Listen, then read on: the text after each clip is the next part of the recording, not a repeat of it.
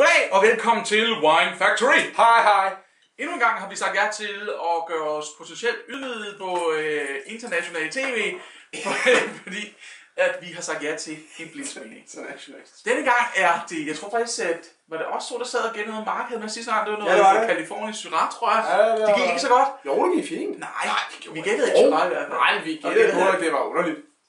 Det er rigtigt. Øh, men øh, nu sidder vi igen, og denne gang er det Rasmus, der har øh, simpelthen taget noget med.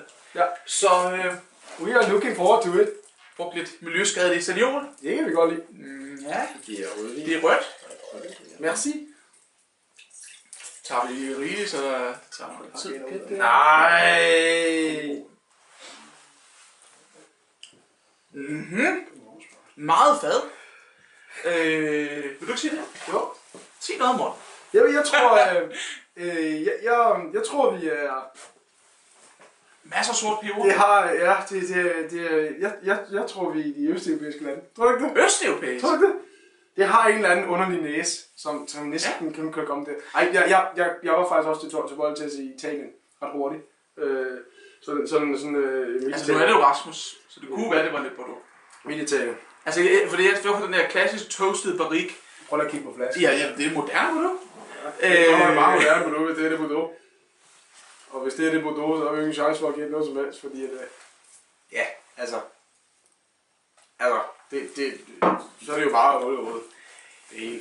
Hvorfor? Nu står verden ikke længere. Jamen, det kunne da sagtens være meget moden øh, Bordeaux for et øh, varmt år, eller ikke moden, undskyld, men en, en kan man sige, frugtrig Bordeaux fra et varmt år. Øh, masser af sådan klassisk barrique, toastet fad, masser af sort Tobias, det er ikke Bordeaux. Okay. Finito. Så bliver jeg sur, hvis det er Bordeaux. Så går jeg. Hvad så? Italien, hvor skulle vi være henne der? Ja, vi er ikke helt op. Ja, det kunne være en mulighed. rigtig god Abruzzo i duften. Jeg kan rigtig godt lide duften. Den er ikke sindssygt kompleks, men der er lige de der tre, prøve, skal prøve at fire kaste, altså peber korrekt, den, er, den ligger der i hvert fald. vanilje, er fad. vaniljefad, ja, det der toastedhed, det er det, der ligger, og så ligger der, der ligger en god frugt også, altså Ikke sikkert. Øh, stor frugt, sådan en salmiak-lakridsfrugt, øh, er salmiak, det er ja? forkert at sige, må jeg ikke sige Nej, men det er rent, men salmiakken er i hvert fald rigtigt. Og så er der Ja. en lille smule grøn grøntsag, sådan lidt øh, broccoli, Ja, ja, stegt broccoli. ja, ja, jo. meget lidt. Ja, ja. Øh, men jeg har den, altså, den der frugt, det er igen sådan en rigtig saftig, øh, moden øh, kirsebær øh, duft, Ja. er det ikke det? Og det er sådan virkelig de der mørke kirsebær. Ja, det er meget mørkt. Ja.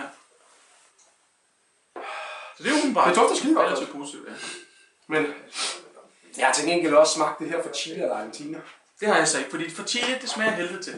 Chile, det, det, det, det smager af ribena. Meget af det. Jeg kan erklære Det det er- hermed krig mod Chile øh, vinmæssigt.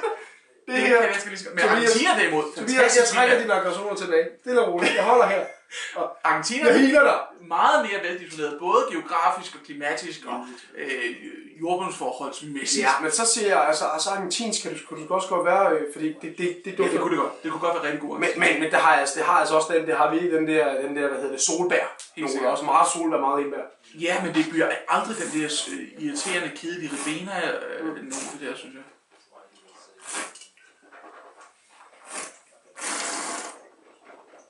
Mm. Kælder for. Mm.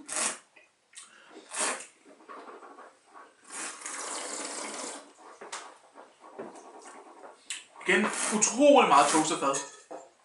For ja. mig bliver den lidt svag Merci. på midtpallet.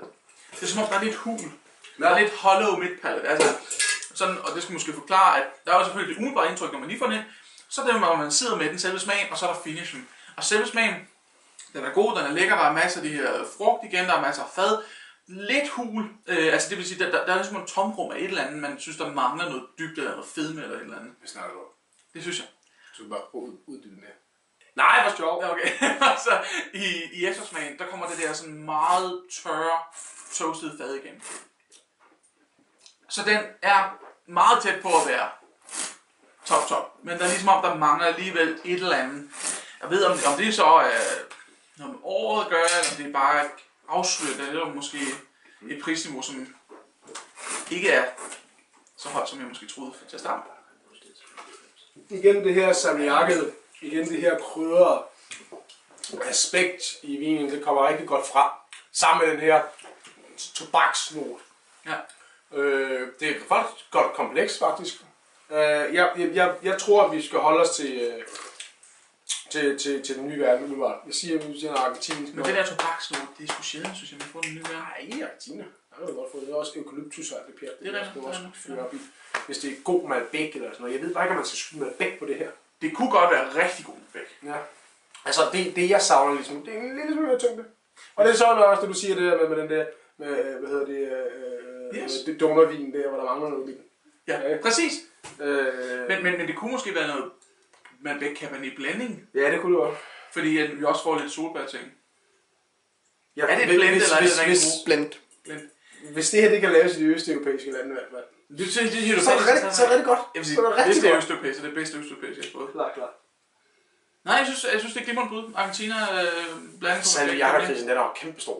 Point. Jeg er på øh, 90. 90, I hvert fald 91. 91 kunne jeg faktisk også godt ligge på. Jeg vil sige, duften, Men, men for duften der tænker jeg 200-300 kroner, 91 point. Smagen hiver lidt tilbage, så er jeg nede sådan noget 150 kroner igen, øh, 100-150, og nede måske på en 90 i smagen. Desværre. Ah, 91 point kan jeg nok på. Skal vi sige det?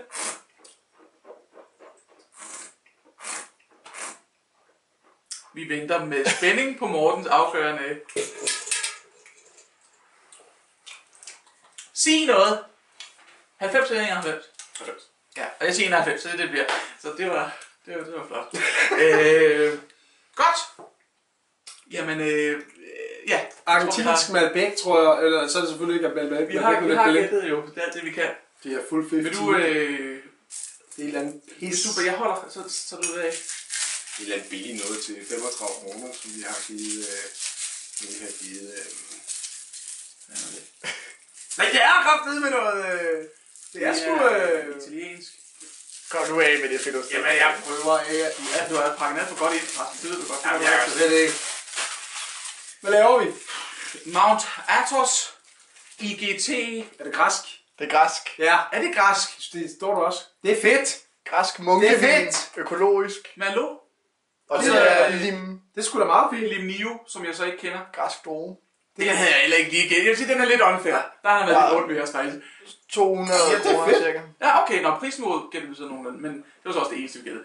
Malo, og så den meget, meget kendte droge, Limnio, fra, øh, fra Grækenland, og, og mere hvor i Grækenland vi er, det ved jeg faktisk ikke. Me- Macedonia eller sådan noget. Okay. Mekadon. Og grunden til, at jeg, øh, grunden til, at jeg lige råbte, at det var italiensk, det var fordi, at jeg troede, der stod IGT, men Ja, så ja. PGI, PGI. Protected Geographical Indication. Ja.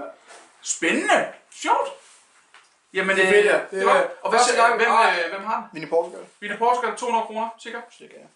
Anden gang med One Factory græsk vin, ikke? Og, rigt- og, og faktisk begge gange har jeg været positivt overrasket. Ja. Jeg er meget positivt overrasket. Ja. Fantastisk god græsvin. Ja, det synes jeg faktisk også, det er meget... Øh, og det har ikke noget med, øh, med, med noget harpix at gøre. Det må man sige, der er ikke. Godt nok. Jamen, øh, det er sjovt. Super. Skål! Har det dejligt. Mm-hmm.